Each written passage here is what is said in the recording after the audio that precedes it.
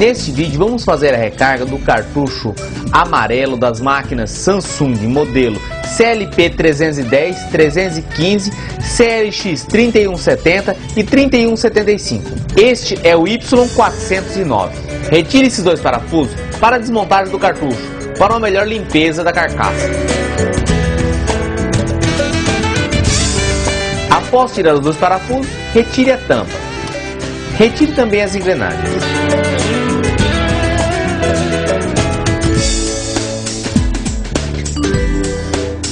Retire também esse parafuso, que segura o suporte do developer.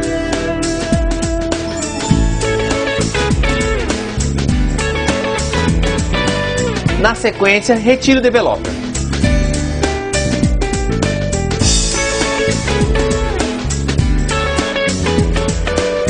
Retire esses dois parafusos para tirar essa tampa, que é o contato do developer.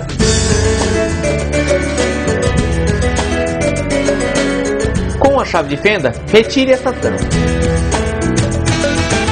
Com o alicate, retire esta tampa.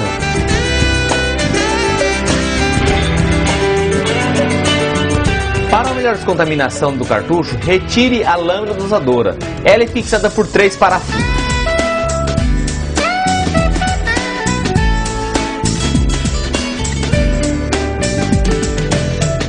Após retirar os parafusos, retire a lâmina.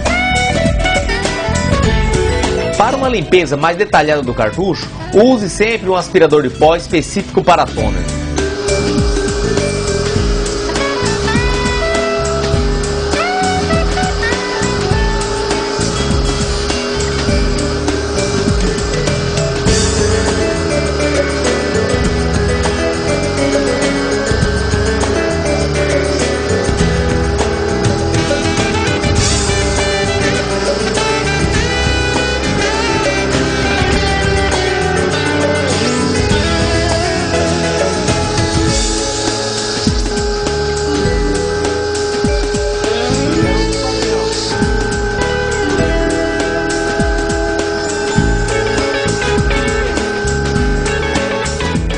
Um pano limpo e álcool isopropílico para uma limpeza mais detalhada do seu cartucho. Faça sempre esse processo, do meio para a lateral.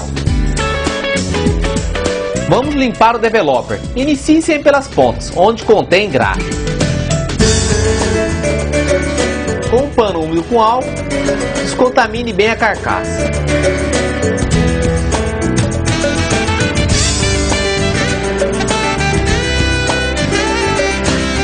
Esta é a lâmina coletura. Com o uso, ela tende a entortar para dentro. Faça esse movimento com o dedo e volte-a levemente para fora. Caso as engrenagens estejam contaminadas, use uma escova e álcool para a limpeza mais detalhada. Com o bastonete, limpe os contatos da tampa do developer. Após uma limpeza detalhada das peças, vamos iniciar a montagem do cartucho. Instale a lâmina dosadora.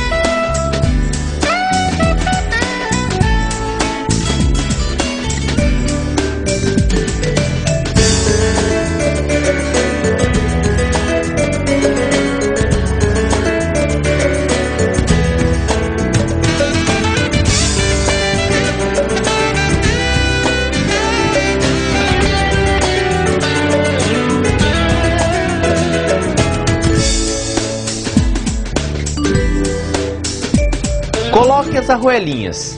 Em seguida, instale o developer. Use graxa condutiva no contato do rolo developer. Instale a tampa, que é o contato do developer.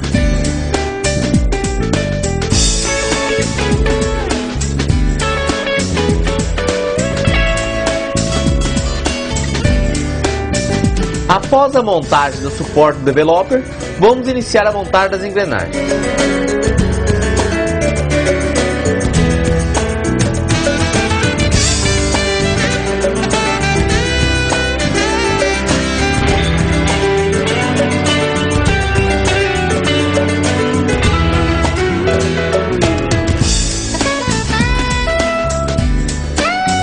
Para uma melhor qualidade na sua cópia ou impressão, use sempre tono específico do seu equipamento. Pede sempre seu cartucho antes e depois de colocar o toner. A diferença deve ser de 45 gramas. É a quantidade de pó que esse cartucho recebe. Após colocar o toner, feche o reservatório. Após a montagem do cartucho, teste a movimentação do developer. O toner deve ficar de uma forma uniforme em todo o developer. Após você fazer recarga, temos que instalar o novo chip. Porém, esta parte é lacrada, não tem como você tirar o chip. Temos que cortar essa parte.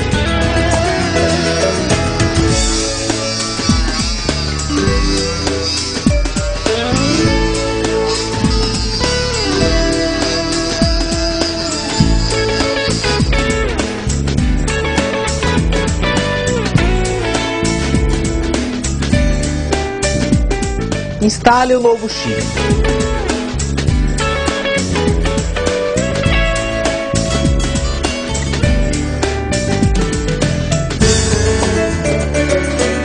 Após você fazer a recarga, instale o toner na máquina e tire uma página de teste.